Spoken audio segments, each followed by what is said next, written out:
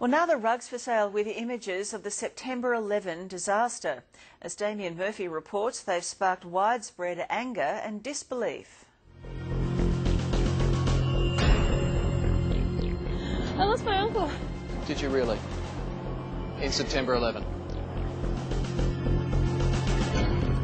It's the imported woven rug ah!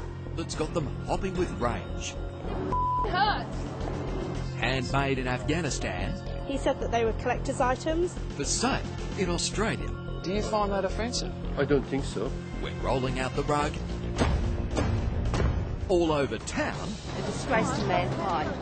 getting the same response You wouldn't have it at your house? No way. wherever we go. I don't think this is something for this country.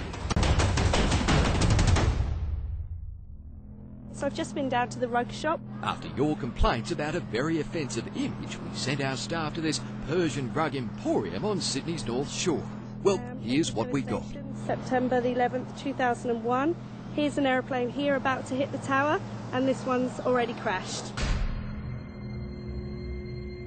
Hello, gentlemen. How are you going? how are you? I'm very well. I'm very well. How much was it? It was supposed to be $190. I got it for $150. Is it wrong to be profiting from it? You're not profiting from that. It's 150 bucks. Yeah, this is $150. I found this within two minutes of being in the shop. You can't miss it. You can't miss it. When people see this rug, what do they say? They love it. They love it. Yeah, they love it. Well, we rolled out the mat on a city sidewalk. That deserves to go in the river. I mean, you know that that's how they are, these extremists. But seeing it just makes your hair stand on end. makes my heart beat very fast. I'm sorry, I can't look at it anymore. We also rolled it out at Keysar Trad's front door. He's head of the Islamic Friendship Association. My first impression of this is this is very poor taste. This is not something that we need. But then he cast a close artistic eye. The message I read is that destruction to the Twin Towers, war comes to Afghanistan, hope for peace with the dove across both flags. Do you think there's a positive message here? Uh, maybe I'm optimistic. I think the dove gives us the message that let's maybe put that violence behind us. You're absolutely right. Professor Tim Bonyhady is an Afghan art expert. Far from being a celebration of destruction, these rugs are an expression of hope that peace would come to Afghanistan. What's this down here? I don't know. I couldn't figure it out. I said to him, What's this? And he said, I don't know, probably a dead body.